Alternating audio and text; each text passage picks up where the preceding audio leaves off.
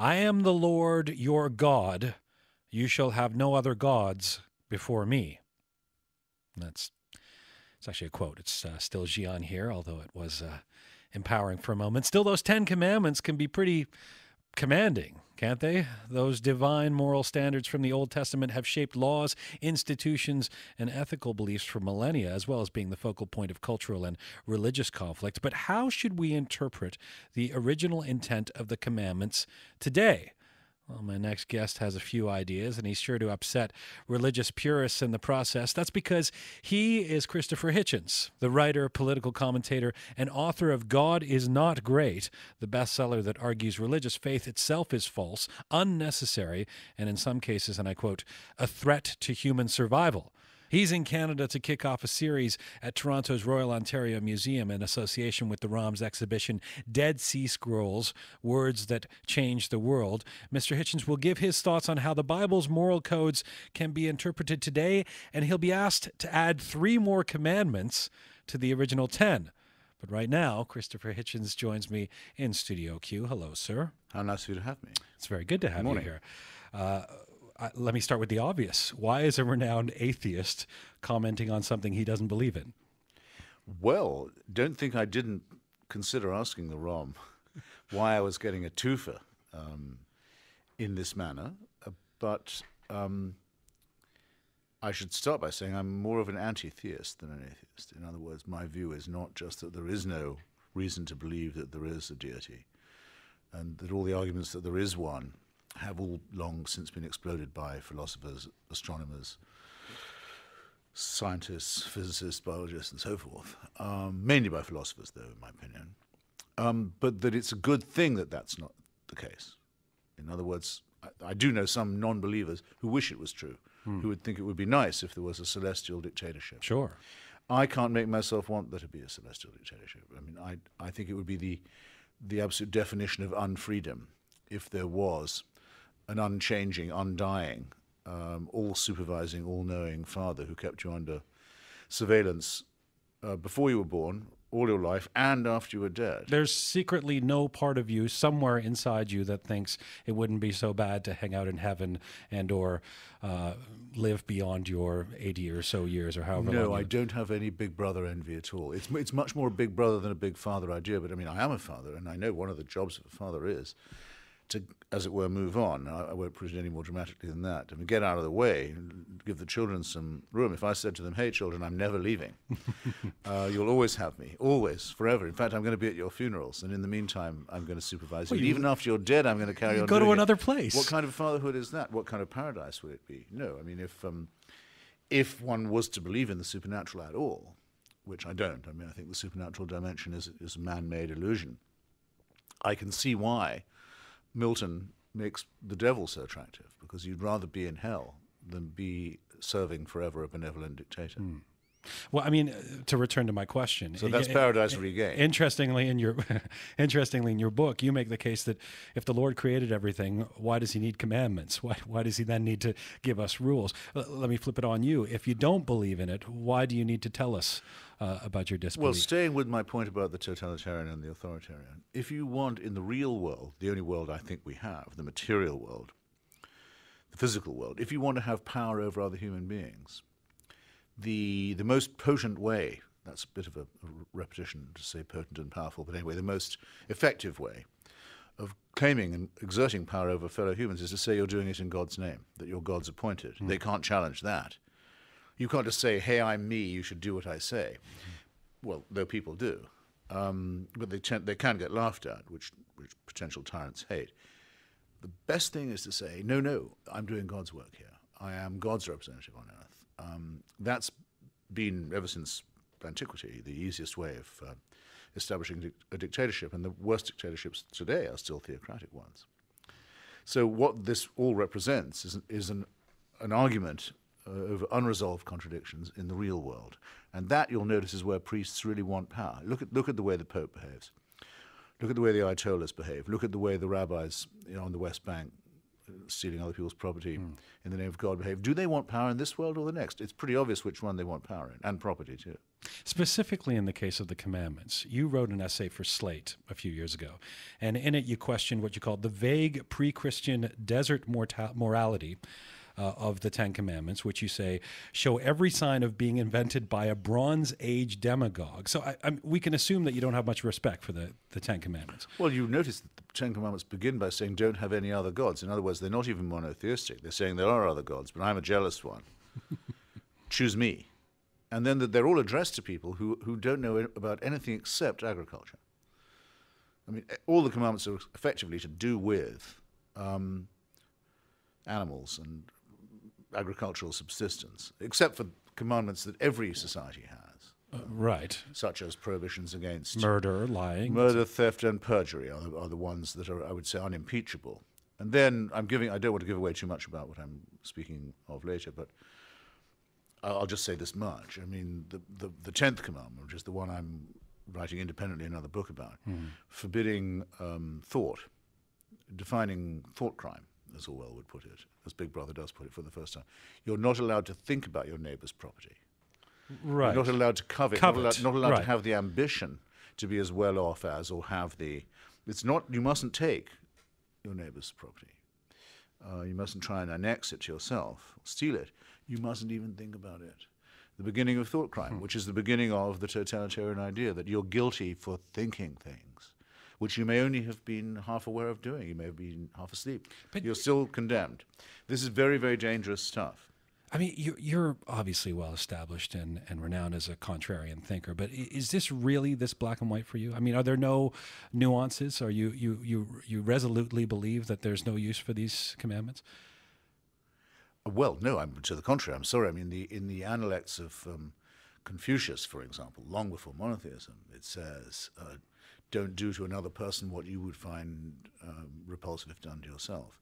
It's it's actually a, a rather weaker rule than most people realize, but it is what we call the golden rule. It's been around as long as human society's been Don't around. do unto We- thy we- we- neighbor. yeah, we couldn't we couldn't have we wouldn't you and I couldn't have evolved far enough to be having this discussion with this technology if people were any different. I mean, if we didn't have an instinct for solidarity and for common interest and for care for one another, um, life would be impossible. The idea that we wouldn't know this without a supernatural authority, however, is a groveling, slavish idea, as if we need permission to know what is innate to us. Religion actually takes its morality from us, not the other way around. So, uh, uh, right. Whereas God didn't create Well, humans; humans created God. Is Let me put position? it like this. I mean, if uh, I've, I've put this question to various people, quite senior religious people in public in debates several times, and they haven't come up with an answer yet. You have to tell me of a moral statement that could be made by a believer, or a moral action undertaken by a believer, that I couldn't make or undertake because I'm not a believer. Something that would be uh, impossible for me. I've not yet been told what that would be. Whereas if I ask you the corollary question, can you think of a wicked action done by a believer because of his or her belief? You can think of one right away. The suicide bombing community is all religious. The um, genital mutilation community, not not exclusively, Right. because of the Tamil tigers, I suppose, who are partly religious, by But- the way. but religious people wouldn't but the- claim the that- genital mutilation of children is a, a precise is a religious commandment. Right. Uh, these are things that uh, wickedness is that people wouldn't commit without God. So there's a, a quite a sharp divorce between ethics and religion, and morality and religion. But I, I think you'd be hard pressed to find a religious person who would claim that there's never been any negative implications or violence or or uh, wicked deeds that have been done in the name of religion. They say in the name of. It's not in the name of. That's their get out clause. You echo it yourself. Don't mean to pick you up on it. Actually, Sure. yes, I do. Go ahead. It's not Yes, in the name do. of. No, it's explicit. It's part of the religion. The, the, the, the most celebrated action of the Abrahamic is the willingness of someone to, to gut and murder his own son because he thinks it will please God. But the flip side of that, I mean, if you say you go back to Confucius, if, if, if the basic rules of these commandments, some of the, I mean, and I'm thinking from four through eight now, right? Adultery, lying, stealing, uh, be honest. These are basic.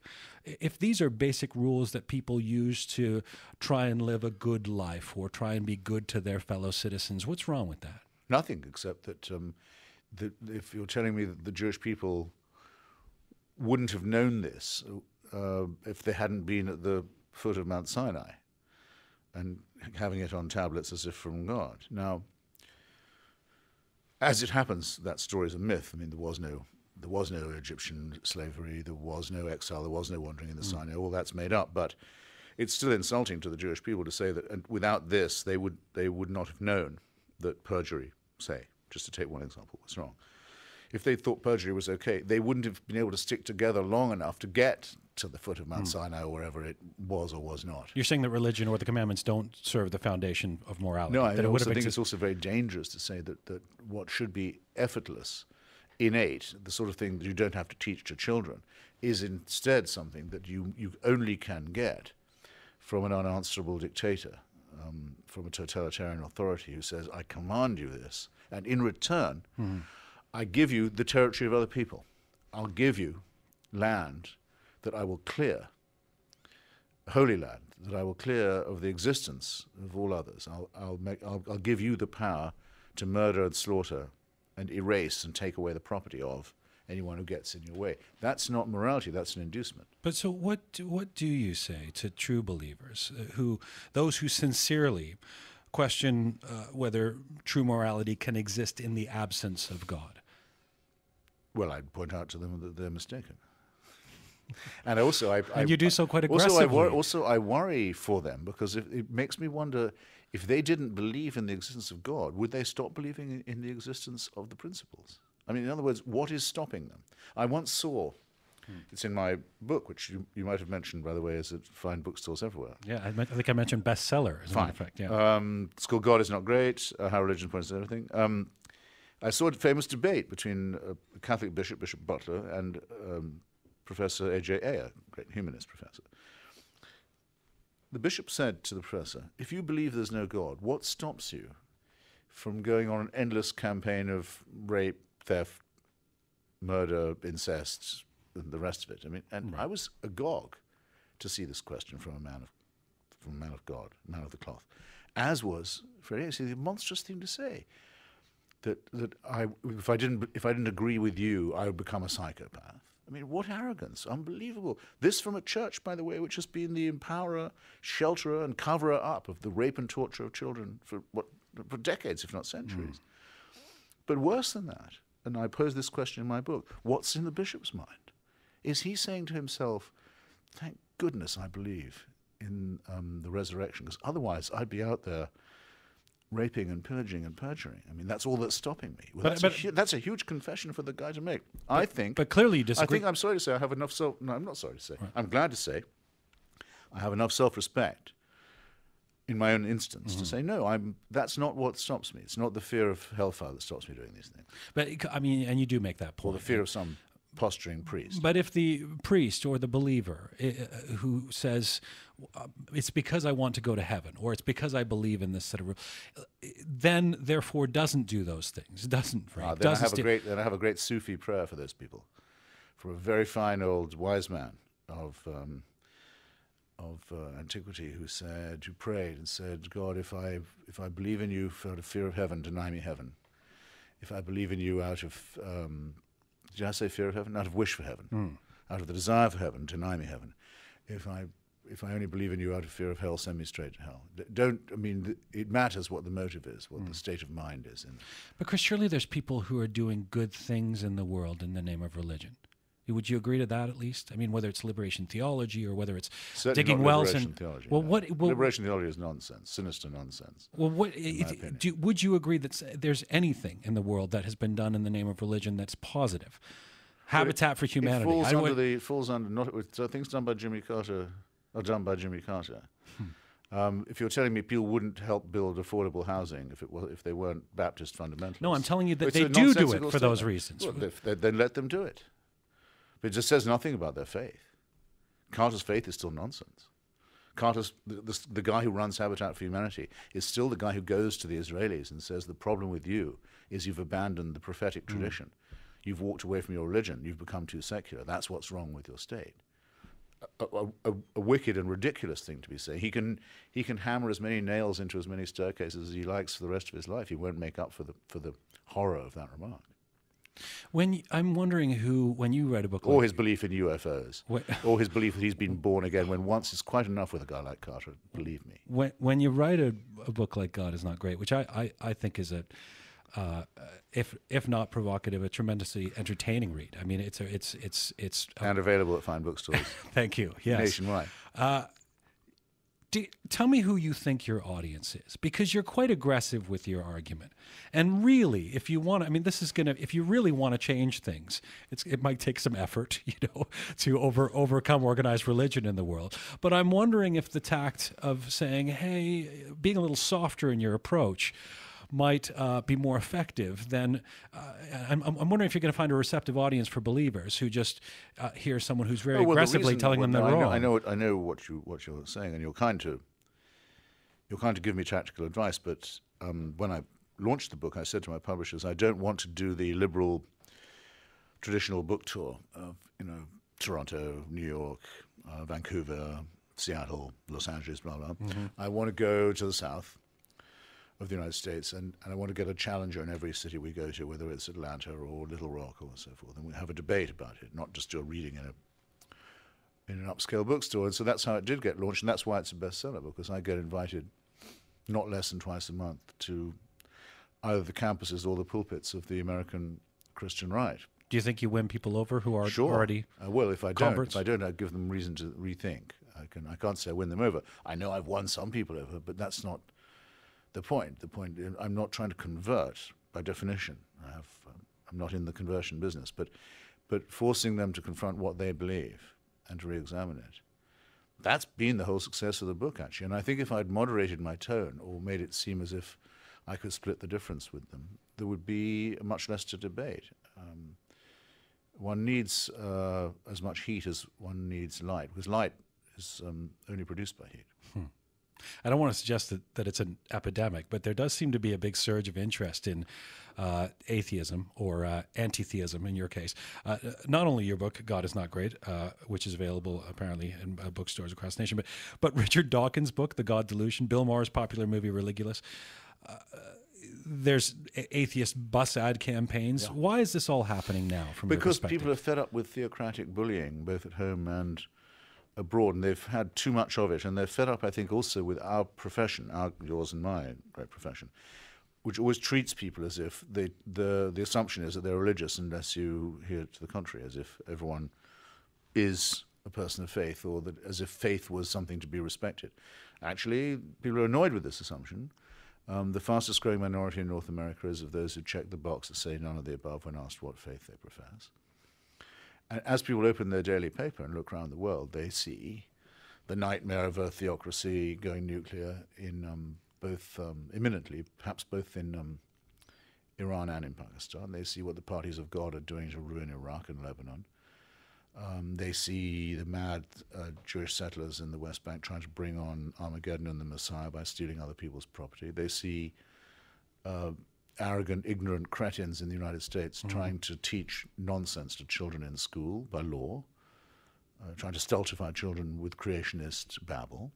And they've had enough of it, and they don't like the, the easy assumptions made by politicians like Bush that if you can just pronounce the word faith, that you've covered yourself on this. I mean, I think it's high time for a pushback, and I'm very proud to be part of it. But what you've talked about in terms of the growth of the non-believers uh, um, and the recognition, in fact, from President Obama a, couple of times now in talking about uh, non-believers, does seem to fly in the face of the orthodoxy in, in, in which the world is becoming a more religious place and uh, uh, and and more polarized as such between the growth of uh, Christianity or, uh, or or the Bible Belt, et cetera, in the U.S. and, and Islam in, in the Middle East. And uh, so so why do we hear so much well, about these that? things don't go. These things don't come and go in even measurable waves. For example, the fastest growing religion in South America is probably uh, Pentecostal Protestantism. The Catholic Church is on the defensive there. On the other hand, in Africa, the Catholic Church is growing very rapidly. Um, Islam is having several civil wars within itself, uh, both between the, the modernizers and the fundamentalists, but also between the Sunni and the Shia, um, between both of those and discrepant sects like the Ahmadi, for example, the Ismaili Muslims. So there's a permanent roiling about which kind of faith it is, impervious um, though that may seem sorry impenetrable, though that may seem to the outsider, and so forth. But the there's a steady growth of people who say enough of this. Um, we can live a moral life without religion. And the most successful societies are those that separate the church from the state by law and enforce it by their constitutions. These are the happiest, most prosperous, most democratic countries. And we have to stop taking this for granted and be willing to defend it against the endless attempts by theocrats of different stripes to take that away from us. On this line, we will take a stand and we will fight.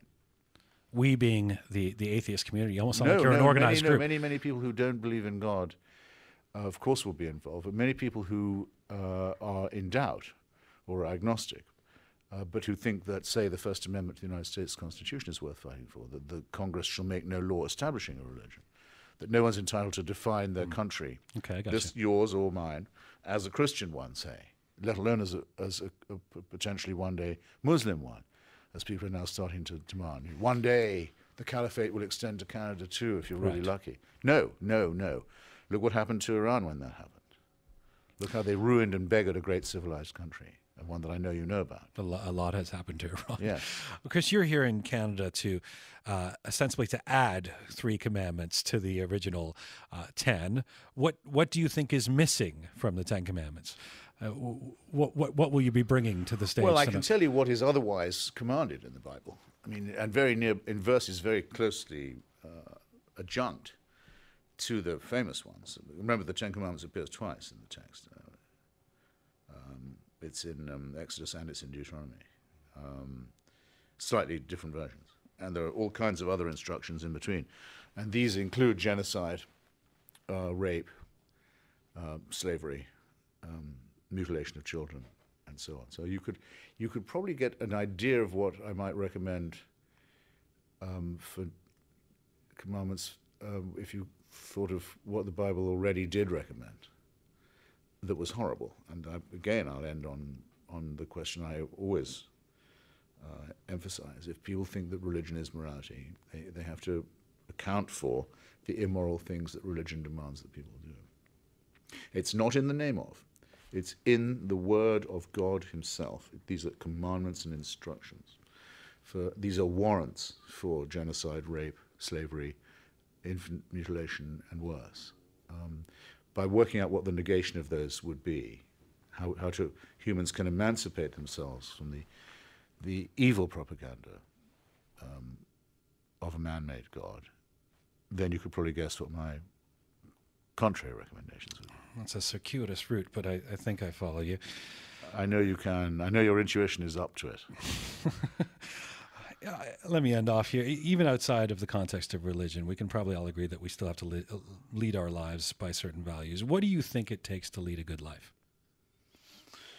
Um, for me, um, irony, um, literature as the source of reflection on moral and ethical and human topics, um, laughing at the misfortunes of others, that gets me through a lot of the day. Um, uh, love, uh, and some of the things that go with. Um, the possibility of passing on your genes to children, the only kind of immortality you'll ever get. And did I mention this already? Laughing at the misfortune of others, and and also and of being proved right, um, being vindicated in arguments that where other people wish they hadn't had with you. That They have to say, okay, I was wrong and you were right.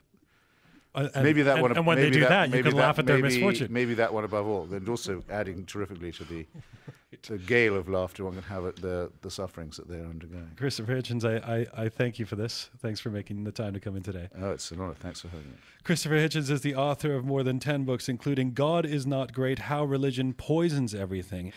And Christopher Hitchens joined me here live in Studio Q.